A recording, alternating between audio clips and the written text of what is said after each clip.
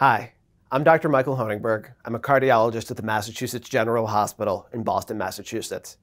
Today, we'll be talking about a topic that's fundamental to the practice of primary care, the treatment of hypertension, with a focus on the 2017 American College of Cardiology American Heart Association guidelines. In today's video, we will review evidence-based non-pharmacologic interventions to lower elevated blood pressure. Next, we will identify individuals for whom pharmacotherapy to lower blood pressure is indicated. Finally, you'll understand how to prescribe guideline-recommended antihypertensive medication therapies. The complications of chronically elevated high blood pressure include atherosclerotic cardiovascular diseases such as ischemic heart disease, stroke, and peripheral artery disease, aortic aneurysm and dissection, heart failure, and chronic kidney disease. On a global scale, elevated blood pressure is the most common risk factor for death and disability worldwide. The 2017 ACC-AHA guidelines define four categories of blood pressure. Normal blood pressure, elevated blood pressure, stage 1 hypertension, and stage 2 hypertension. Non-pharmacologic interventions are recommended for individuals with elevated blood pressure and both categories of hypertension. What are some of these non-pharmacological blood pressure lowering interventions? First, weight loss. The best goal, ideally, is to work toward ideal body weight, but this is infeasible for many patients.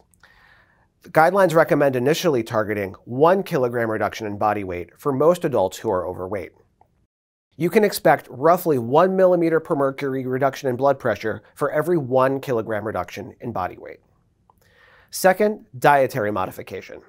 Several randomized trial-supported heart-healthy diets are available, including the Dietary Approaches to Stop Hypertension, or DASH diet. In general, we recommend that patients consume a diet rich in fruits, vegetables, whole grains, and low content of saturated fat. This can be even more effective for blood pressure when paired with sodium restriction.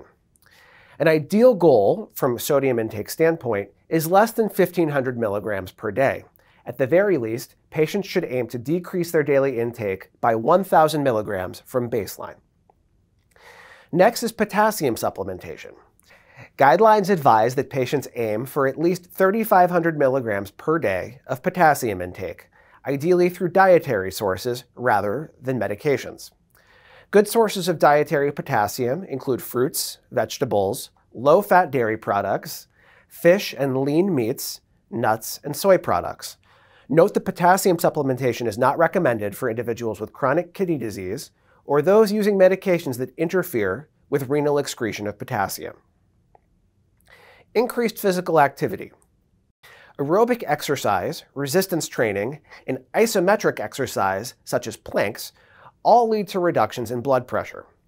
Guidelines recommend targeting 150 minutes per week of moderate or greater intensity aerobic exercise, both for blood pressure and overall cardiometabolic health and wellness. And finally, alcohol moderation.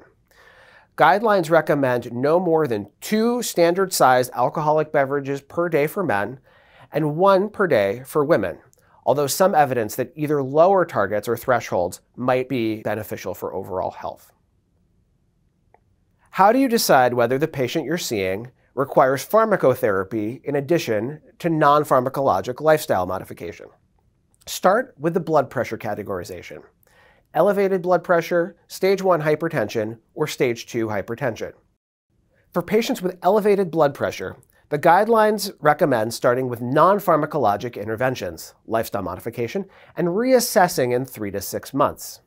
Conversely, for patients with stage 2 hypertension, the guidelines recommend a combination of non-pharmacologic interventions and the initiation of blood pressure lowering medication. For stage 1, it depends. Does the patient have established cardiovascular disease, diabetes, or an estimated 10-year risk of a cardiovascular event greater than or equal to 10%? If not, the guidelines advise that it's reasonable to trial non-pharmacologic modifications or interventions and reassess in three to six months. If the answer is yes, the guidelines recommend starting medication in addition to non-pharmacologic approaches. Based on randomized trials like the SPRINT trial, most patients deserve a typical blood pressure goal less than 130 over 80 millimeters of mercury. You've decided that your patient warrants pharmacotherapy, What medication should you start? Many different antihypertensive medications are available to clinicians. The guidelines endorse these four categories shown here as very reasonable first-line approaches to managing blood pressure. The thiazides, angiotensin-converting enzyme inhibitors, or ACE inhibitors, angiotensin receptor blockers, or ARBs, or the calcium channel blockers. And the typical daily doses and dose frequencies of several commonly used agents are shown here. Comorbidities can help guide selection of particular agents to use. For example, beta blockers are also commonly used to treat blood pressure in patients with underlying cardiovascular conditions such as coronary heart disease, heart failure, or arrhythmia. Refer to the 2017 ACC AHA hypertension guidelines for a more complete list of blood pressure lowering medications.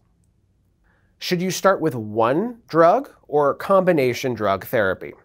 The guidelines advise consideration of two drug combination therapy up front for patients with stage 2 hypertension if the blood pressure is greater than 20 millimeters of mercury above the systolic goal or 10 millimeters of mercury above the diastolic goal.